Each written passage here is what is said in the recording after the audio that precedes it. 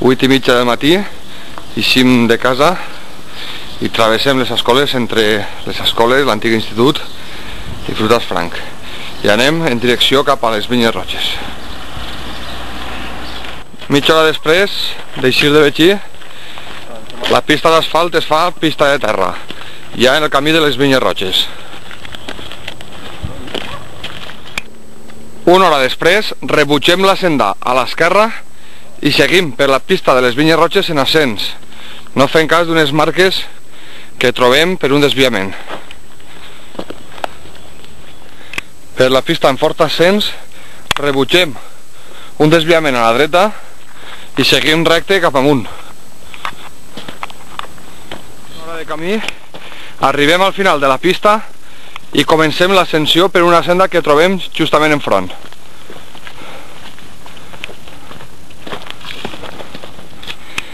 Després d'una fortíssima ascensió aconseguim arribar a un xicotet planet que creuarem i al final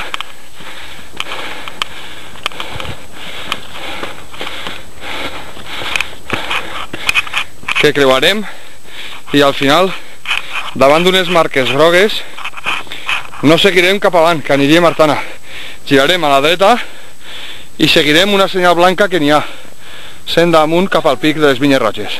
La pujada? Arribem al pic marcat amb una línia groga.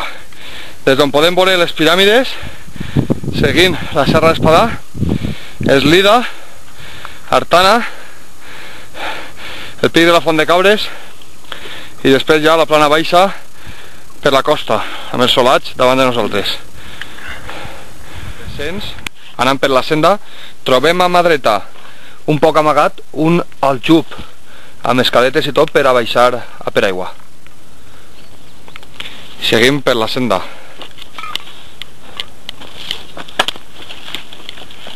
La senda va crestejant i a mà esquerra trobem ara la cantera de les penyes aragoneses.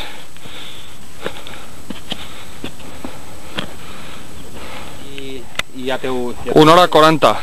Justament dalt de la cantera arribem per la senda a un pilonet enmig d'una pedrera menuda i seguim en ascens per la nostra via. Una hora 52 minuts. Anant per la senda, ara davant, dalt de les penyes aragoneses, davant d'unes carrasques es fa la bifurcació i nosaltres girem a l'esquerra per anar descendint cap a la pedrera i anar baix de les penyes aragoneses. Una hora i quart.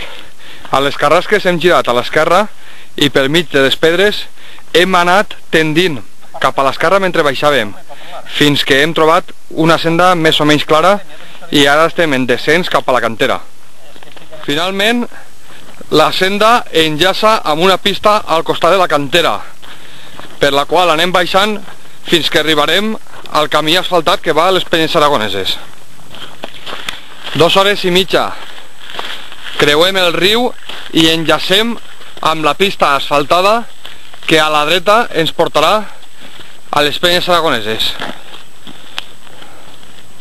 Només prendre la pista asfaltada, a l'esquerra tenim un desviament que pareix ser que és el PR que va a Tales, però nosaltres seguim rectes cap a les penyes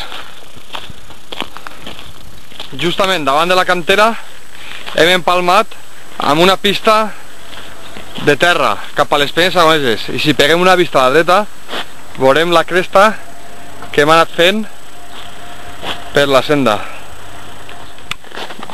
davant mateix de les penyes aragoneses girem a l'esquerra per deixar la pista seguint una paleta que tenim davant de nosaltres que assenyala les piràmides.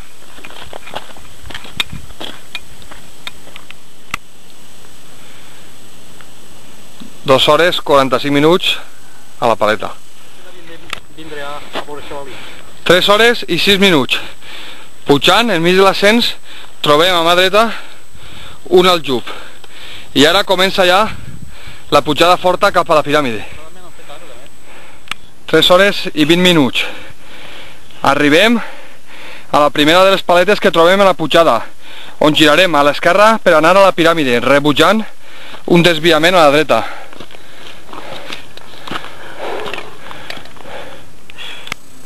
Girem a l'esquerra en direcció Onda, prop ja del pic de la piràmide. 3 hores i mitja arribem al pic de la piràmide, davant d'una magnífica vista de tota la plana baixa, amb les penyes aragoneses davant, el Solat, Sant Antoni i Betxí. 4 hores justes, la senda en descens s'ha fet pista i arribem a una paleta que prendrem recte en direcció onda, rebutjant un desviament a l'esquerra.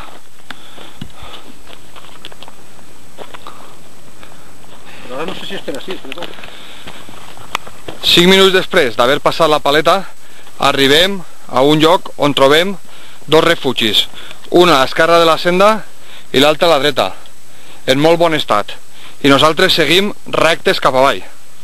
Uns metres més avant trobem un altre refugi a l'esquerra, i nosaltres, sempre en descens, seguim avant. 4 hores 10 minuts. En descens arribem a un creuament que la marca ens indica a mà esquerra, però nosaltres rebutgem esta marca i seguim rectes cap avall.